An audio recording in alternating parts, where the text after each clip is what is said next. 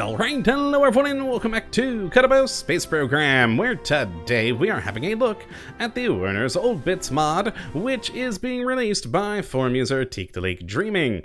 And what this glorious little piece of work looks to add into the game is a series of parts to let you build World War II era German rockets, such as the V2, which is pretty cool. I've always had a fascination with rockets like that, and this mod will now let us build it here in the game along with some of the more interesting experimental designs they were working on. So let's jump into the vehicle assembly building and have a look at we, what we do get. And this is actually one of those mods I've been meaning to look at for ages now, but just never seem to get around to it. But thanks to the recent 1.5 update, it came on my radar again, so here we are. And let's grab ourselves a Mark 1 command pod for size comparison, and then of course turn on Janitor's Closet, just leaving on Wernher's old stuff, and we'll start by having a look at our couple of command pods we have here. The first is the A9 inline cockpit, and we can just place this thing here. Very cool looking thing.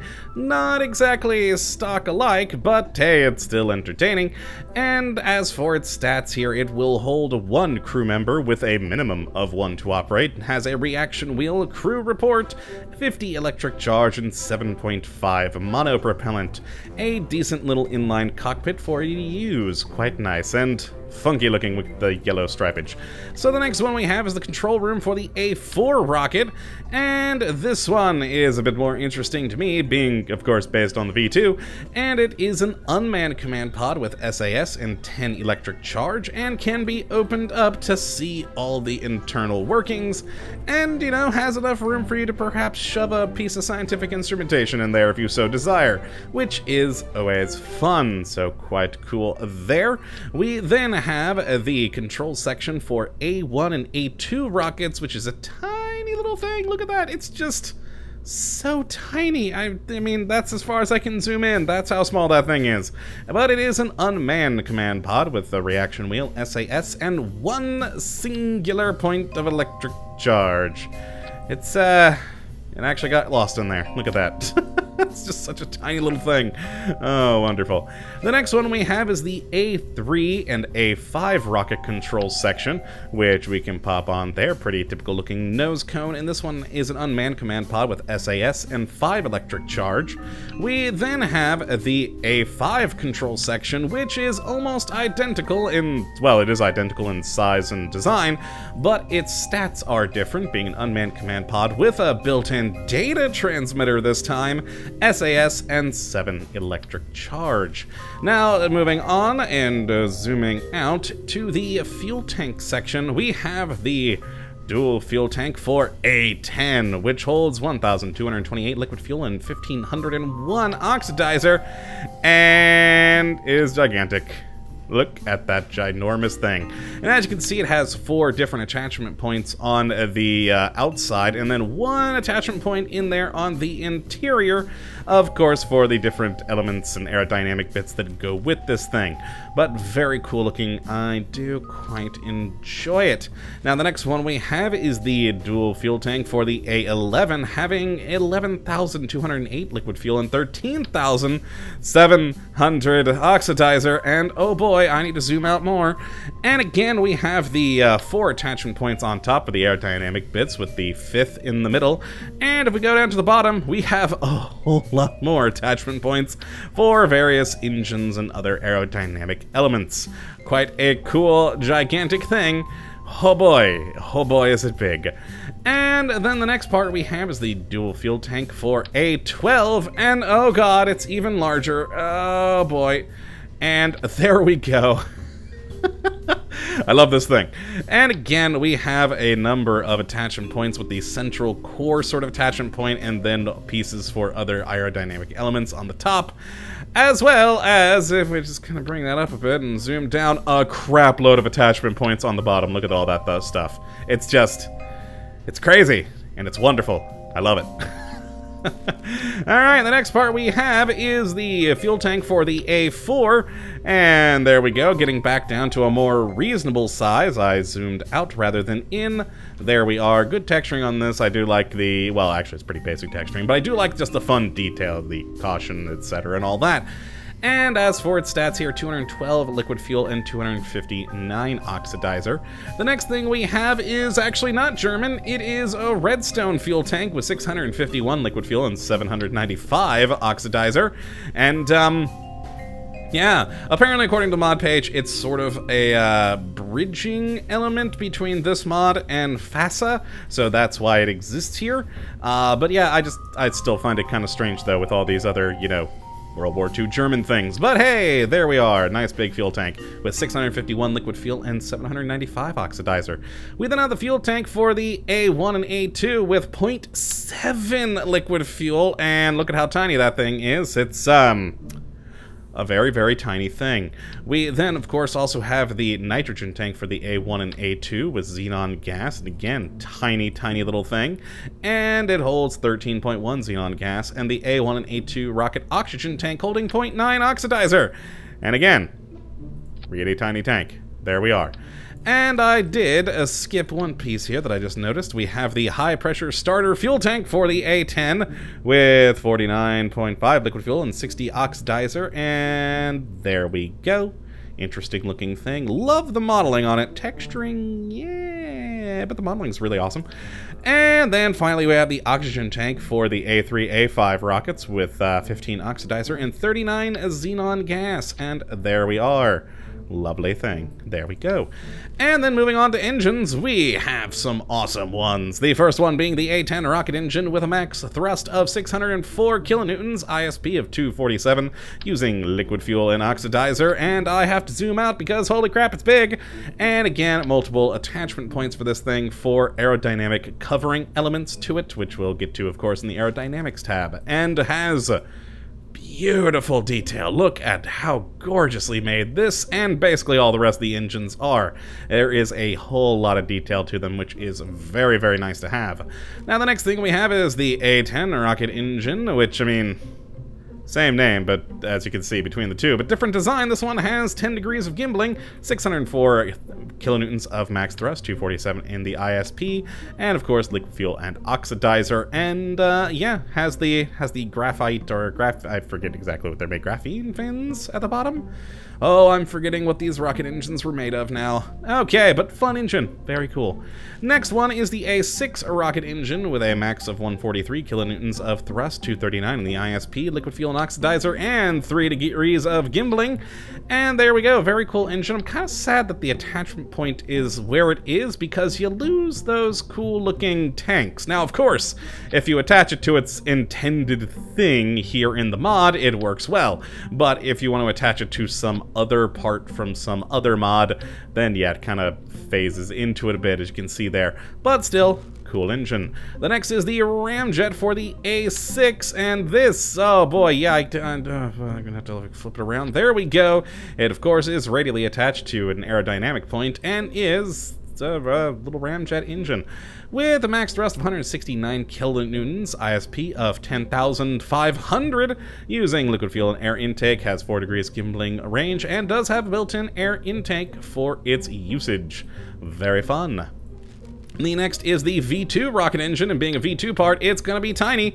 Okay, zoom in. Tiny, tiny little engine. There it is, but, you know, functional with 0.7 kilonewtons of thrust, ISP of 123, using liquid fuel, oxidizer, and xenon gas for it to function. Oh, it's lovely. And then we have the A3 rocket engine, another small engine, but not quite as small, of course, as the A2. This one having a 3.85 kilonewtons of thrust with 123 ISP, using liquid fuel oxidizer xenon gas, has a gimbling, and of course does have some built-in liquid fuel of 12.6. And then finally we have the venerable A4 rocket engine. Pop that baby on and oh, it's just glorious. I, I love this one. It's my favorite. Just look at all the piping on it. It's so cool looking. And it, of course, has 72 kilonewtons of thrust with a max ISP of 191. A liquid fuel and oxidizer does have a gimbling on it, which is always good. And that is it for those. I should actually probably leave on one of these things for the aerodynamic bits we'll get to in a moment. But let's zoom out. In command and control, we have nothing. In structural, we do have two things. Both are for the the A2, and they are a launch base and as well as a launch guide for you to pop the tiny little A2 rocket onto, for it to basically use as a miniature little launch tower there. Kind of a nice little addition. I enjoy it. Very cool. Then in coupling, we have a couple of things. Oh boy, no, to grab the wrong thing there. Meant to just grab that. Excellent. The first is the A10 interstage frame decoupler. There we are, big decoupler for large A10 parts. We then have the A12 interstage frame and decoupler. Very fun because, of course, it is not just a decoupler, but a cool looking frame that I could see using on a lot of other projects with other mods. I like it. Then the next is the A4 to A10 interstage frame and decoupler.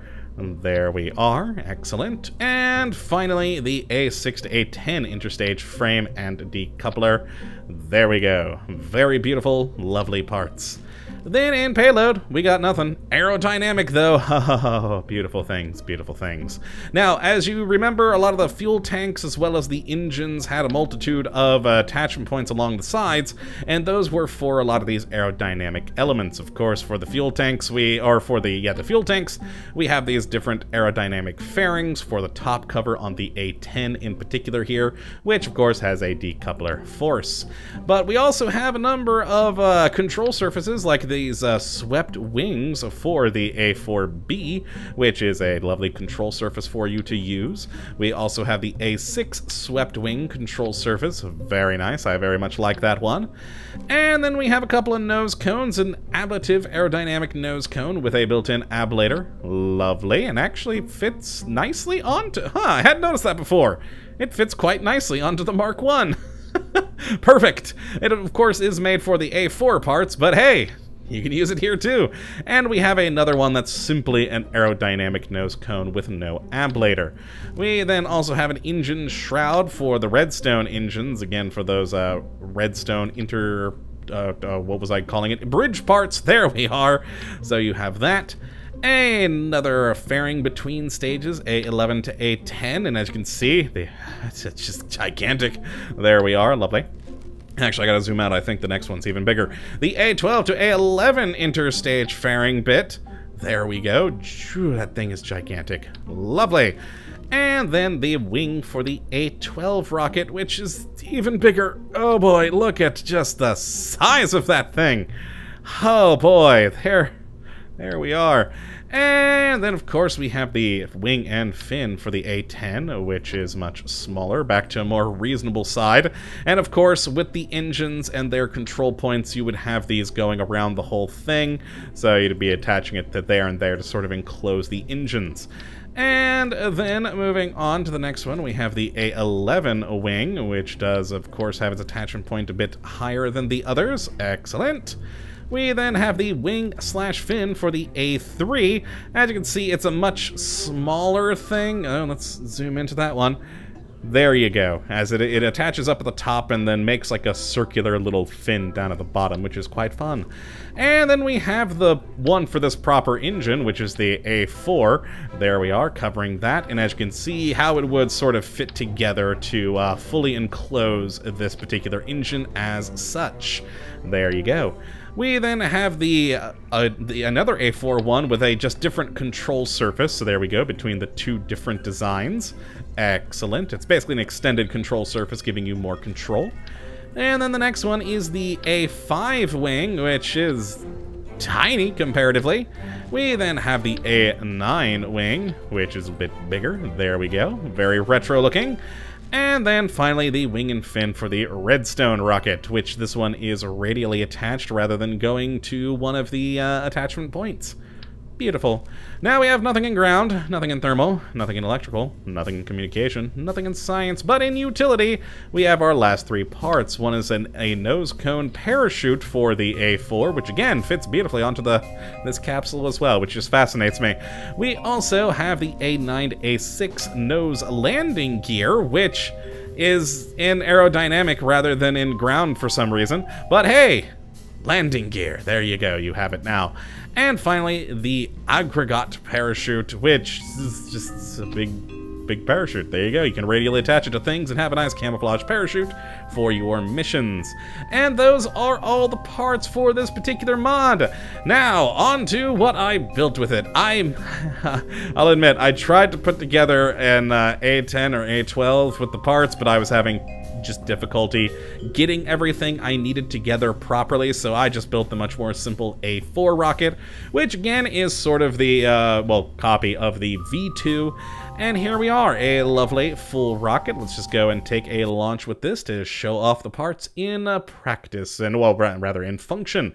But yes, it's a lovely little selection of parts. I've, uh, like I said earlier, I've always been fascinated by especially the V2. This really did birth the space race once we and the Russians got their hands on them.